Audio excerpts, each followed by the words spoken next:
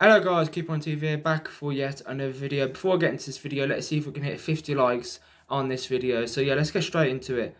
What I'm going to be talking about is survival. Survival in the championship, it looks all but confirmed this season. And it's a, yet another season where we've struggled to stay in the league.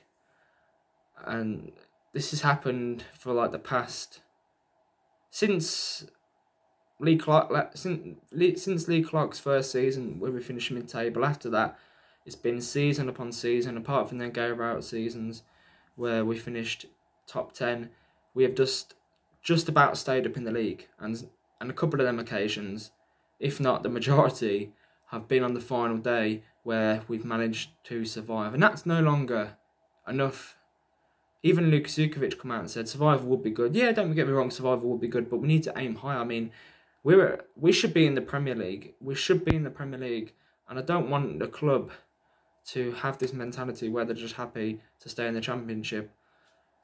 We should be a Premier League club, and it's these owners' fault that we're not, and Carson Yeung as well.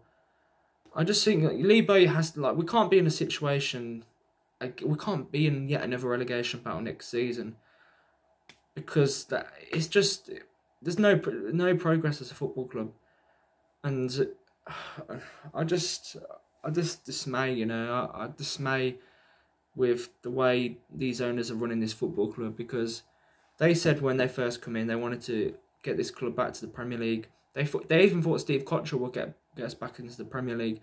But I think we've got the right manager to take us forward as a club. And let's have a strong end to this season.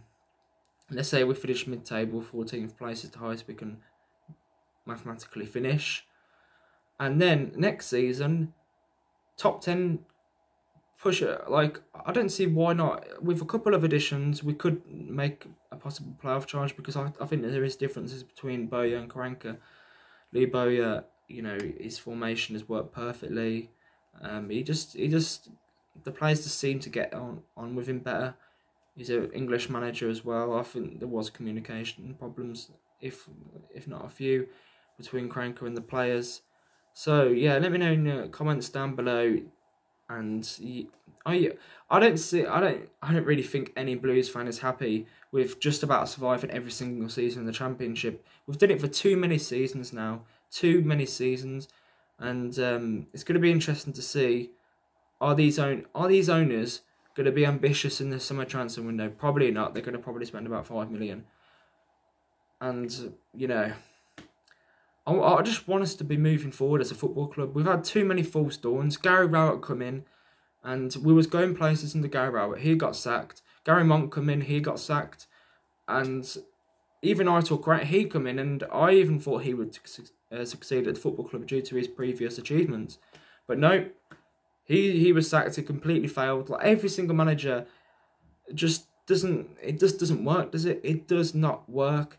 I want Lee Bowyer to do, you know, to do something that's going to be really hard and get us in the Premier League, whether it be next season or the season after. I, I just, I don't want, like I said, I don't want us to become a mid like a champion. I don't want us to become just a championship club. I want us to be in the promised land, and whether that would be, like I said, one or two seasons, because I I, I just I don't know, like I can't be bothered with the championship.